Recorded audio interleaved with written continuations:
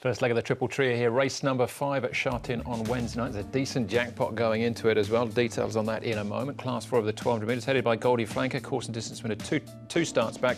Five times he's won over the 1200 metres in the past. Blinkers on for the second time for Handsome Rebel. Elite Boy's got pace, as has Gunner, but he gets up with barrier number 11. Breeze of Spring returns to all-weather, winner over the 1200 at Sha Tin of the season on the turf, striking Mr. C.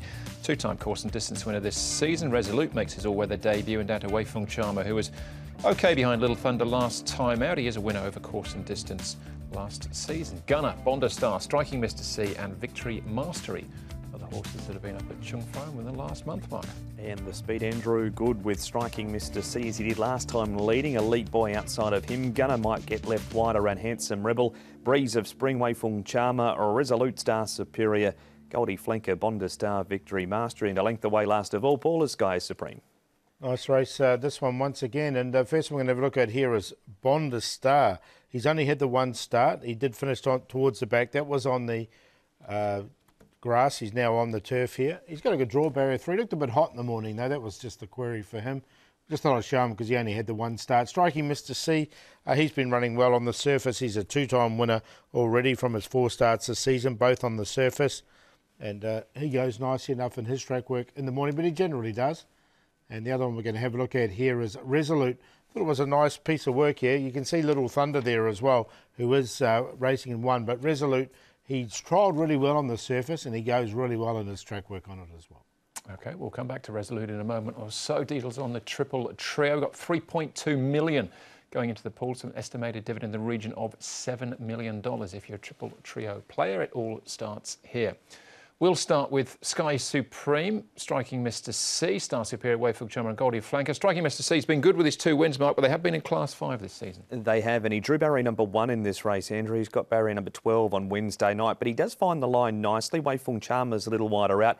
Striking Mr. C's given a good sight for a long way here, Paul, but is run down by Little Thunder. Sky Supreme hits the line nicely. Yeah, it was a nice, uh, nice run from him, and I thought uh, Wayfeng Charmer as well, with the lightweight's going to be given a bit of a chance. He's got a little bit further back than normal in that race. All right, Resolute's uh, one of a number of horses on the programme. Makes his uh, all-weather debut. We've seen him three times on the turf. Paul, this is uh, Happy Valley running sixth. Yeah, this is his best run uh, since he's got here. The blinkers did go on him uh, for this race, and he, look, he had to work really hard. So um, the, the best part of the race was the middle part for him. He faded out late, but prior to this, he he won a trial really impressively on the all-weather and he does work really well on the surface. So I'm going to take a chance with him. I think he can slot in behind a fast pace. I had him in the top uh, two or three as well, Resolute, on that trial that Paul mentioned. It was a very sharp performance in that trial. Okay, all right. Gunner, he's uh, pretty consistent, um, Gunner.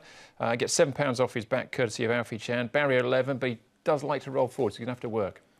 That's the question, isn't it? He's going to be wide on the pace as well. And I think that's one of the reasons I like the other horse, uh, Resolute, because there's going to be three wide on the pace. He's going to be one of them. It's just a matter of uh, how long he can hang on for, I think. He's all-weather placing this season was his first race this season, so it was only his second start, but he obviously handles the um, the surface okay. All right, Handsome Rebel's come up as our favourite, uh, Paul Zac Purton, but he's a 20-start maiden so far. Yeah, he is. So I'm going to go with a bit of value in here with Resolute. I think he can get a nice run just behind a really fast pace. He likes the surface and he's worked really well on it. 17 to 1, happy to go with him. To beat Handsome Rebel, uh, look, he's going to have the blinkers back on him. Wei Feng Charmer has one in Class 5. He's at the bottom of Class 4. If they do overcook it in front, which I think is a possibility, we know Goldie Flanker is going to hit the line strongly. 9 2 12 1. With the two, a handsome rebel, even though he hasn't won in 20 starts, his last placing was in Class 3 of four starts ago, Class 4 uh, four starts ago. He's been in Class 3 since. He carried 133 pounds to run a next second at Thou Shall Sing in that race, so he can carry weight. Resolute to run second. Victory Mastery coming onto the all-weather over the 1200. Back in distance than three Elite Boy. 2, 9, 11 and 3. Two for me as well, Handsome Rebel. I think the class drop is the key for him and the blinkers going back on. Zac Purton won't uh, hurt his chances either from barrier number six. That's the first leg of the triple trio.